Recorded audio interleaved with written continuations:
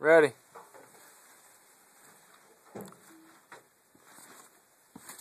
Oh, I got a couple drops. Well, still though.